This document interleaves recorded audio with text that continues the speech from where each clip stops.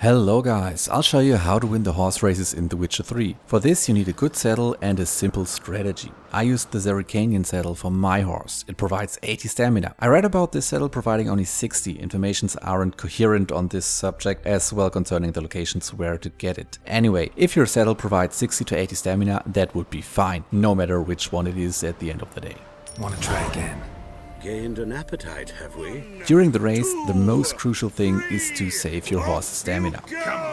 It provides you the speed you need to overtake your opponents, otherwise you won't have a good chance to win. But most of the racetracks are longer than your stamina would last. To deal with this is the difficulty in these races actually.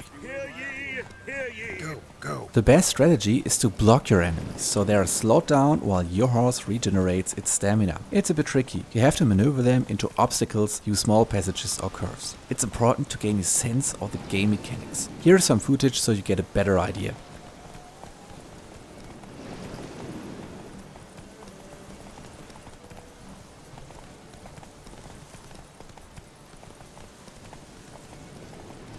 If your opponent is in front of you, that's not a big deal if you have enough stamina left. It's also important to have knowledge about the track, so you know how much stamina you possibly need to cross the finish line. You don't want to decelerate in the last quarter of the track. Riding against two opponents is a special challenge. Use the same strategy and keep one eye on the minimap to pick your best chances to drag them both. Sometimes it could be really close.